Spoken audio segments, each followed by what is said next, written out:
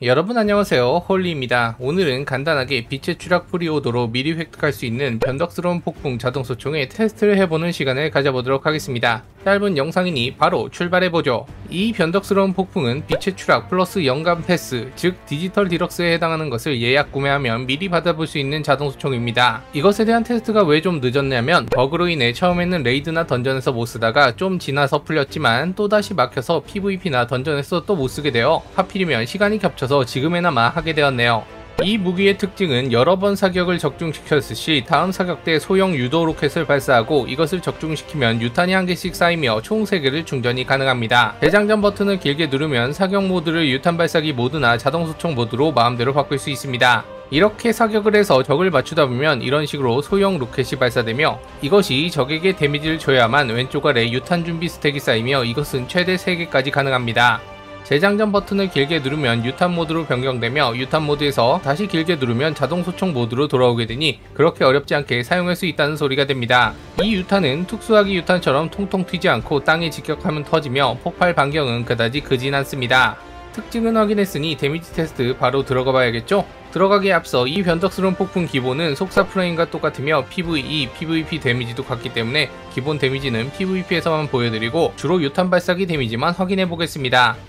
PVE에서는 미니 유탄 데미지가 4791 정도 들어감을 확인했습니다. 가끔 작은 데미지에 노란색 데미지가 뜨는데 이게 164가 아닌 246이 들어가고 이게 headshot인지 아니면 무작위 조건인지 알 수가 없었습니다.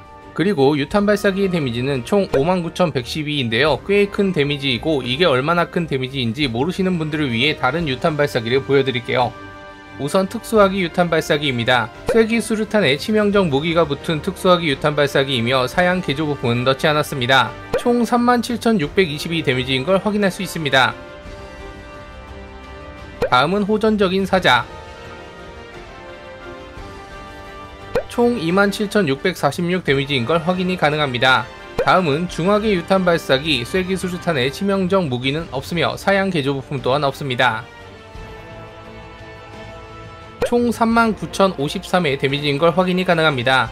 이번 실험으로 놀란 것은 변덕스러운 폭풍 유탄 발사기 데미지가 높다는 것 때문에 놀란 게 아니라 정말 구린 데미지 특성 없는 중화기 유탄 발사기의 한발 데미지 때문이었는데요. 좀 buff가 이루어져야 하지 않을까 하는 느낌이었습니다. 아무튼 PVE에서는 매우 괜찮은 데미지를 보여주고 정예들을 컷할 때 매우 큰 도움이 되었습니다.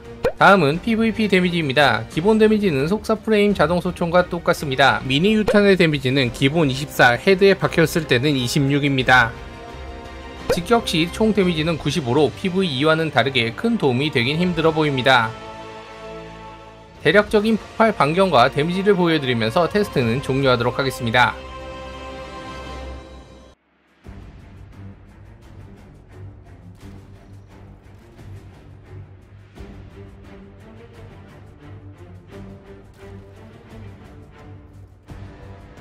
잘 보셨나요? PVP에서는 그렇게 많이 사용한 것은 아니지만 PVE에서는 좀 사용을 해봤는데요. 일단 유탄 발사기의 데미지가 높아 적당히 노란 피의 정에는 대처가 가능했으며 폭발 범위는 낮지만 어느 정도 모여있는 적들을 타격하기에도 나쁘진 않았습니다.